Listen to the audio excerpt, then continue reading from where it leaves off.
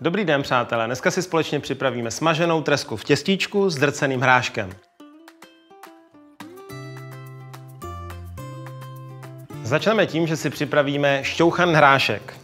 Tak se na to podívejte. Rozehřeju máslo, dáme cibuli, necháme spěnit. Teď k té cibuli můžete přidat trochu čerstvého tymiánu, kdybyste měli sušen, tak se tolik neděje.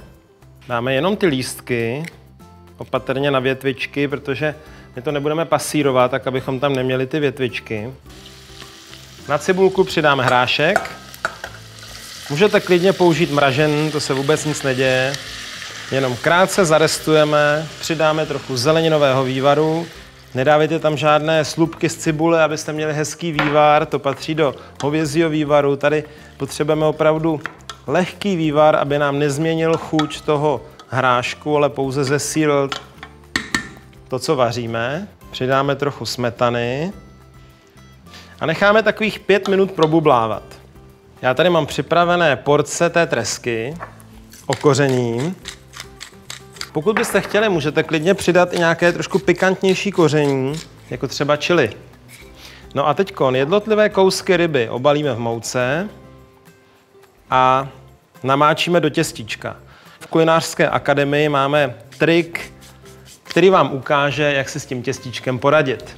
No a potom jednotlivé kousky ryby dáváme do rozehřátého oleje.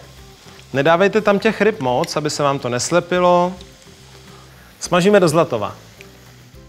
Čas uplynul, podívejte se, jaké tady máme hezké smažené tresky, trošku to připomíná rybí prsty. Vyndáme z toho rozehřátého oleje, dáme na kuchyňský papír. Můžeme i lehonce osolit, i když to těstíčko je slané, tak když to trošku posolíte teďko, tak to dodá uh, dobrou chuť. Hrášek máme provařený, přidám čerstvou mátu. Máta a hrášek si velice dobře rozumí a tyčovým mixérem ty hrášky rozdrtíme. Když ten hrášek nevaříte moc dlouho, tak vám zůstane hezky zelená barva.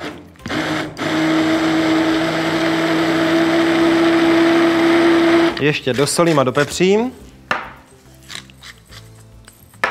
Krátce promixuju. Máme hotovo.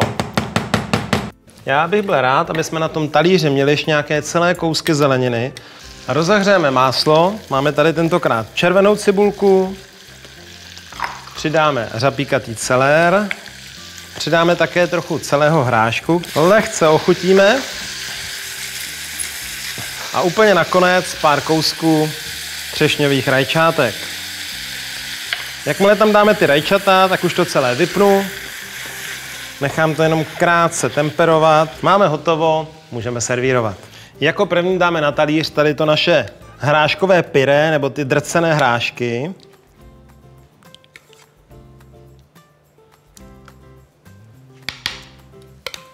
Potom tady máme tu zeleninu.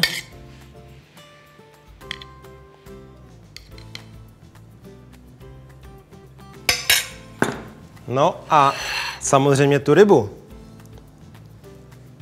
Já nevím jak vy, ale já se na to teda opravdu těším. Já mám tresku hrozně rád, nejenom takhle smaženou, ale i třeba pečenou. Poslední, co bude, mám tady ještě kousky máty, protože jsme s mátou vařili, tak proč ji nepoužít na dekoraci. Já vám moc děkuji za pozornost, budu rád, když tady ten recept vyzkoušíte a když nám dáte v komentářích vědět, jak jste si pochutnali. Dobrou chuť!